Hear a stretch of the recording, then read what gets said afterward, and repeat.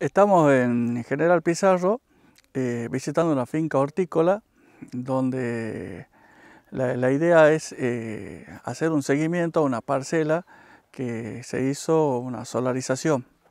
La solarización es un método que se utiliza para la desinfección eh, de suelos de manera natural, es decir, sin el agregado de ningún tipo de agroquímico. La solarización se recomienda hacer para el manejo de plagas, enfermedades y malezas.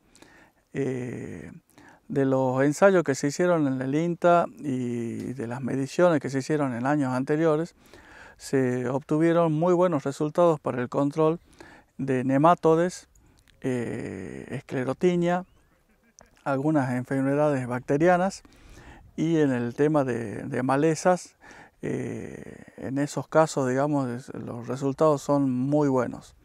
este tratamiento, eh, mientras más largo sea en el tiempo, mucho mejor. Es decir, con un mínimo de entre 30 a 45 días lleva este tratamiento. Puede llevar a, dos o tres meses y sería, mm, mientras más largo, mejor el, efecto que se va a lograr. Eh, ¿En qué época del año es recomendable hacerlo? Se recomienda en los meses de verano, eh, que el, suelo va a recibir la mayor cantidad de irradiación eh, y se espera que, también eh, mientras más días de sol pleno reciba, mucho mejor.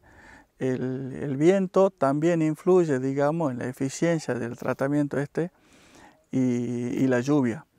Eh, es decir, si podemos tener un verano eh, muy soleado, eh, durante que, tenga por lo menos 60 días de sol pleno, es lo, mejor que podemos tener para este tipo de trabajos. esta tecnología ya es una tecnología que se viene aplicando desde hace muchos años en, en, muchas zonas del país.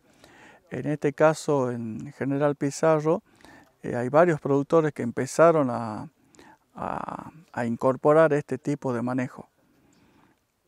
La incorporación de la solarización eh, eh, acá en la zona se vio que tuvo muy buenos resultados en el control de nematodes y, en el, y para el manejo del fusarium, que es una enfermedad que se encuentra en el suelo que afecta eh, gravemente a la, a la producción de, de, tomate.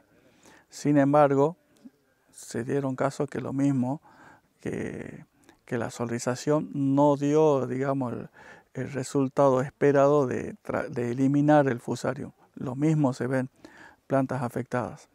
Hay otros productores que lo usan eh, a este método para eh, mejorar también la fertilidad del suelo, porque vieron de que eh, luego de solarizado los cultivos vienen con un mejor desarrollo vegetativo, es decir, se la ven a las plantas más fuerte, de un, mejor crecimiento.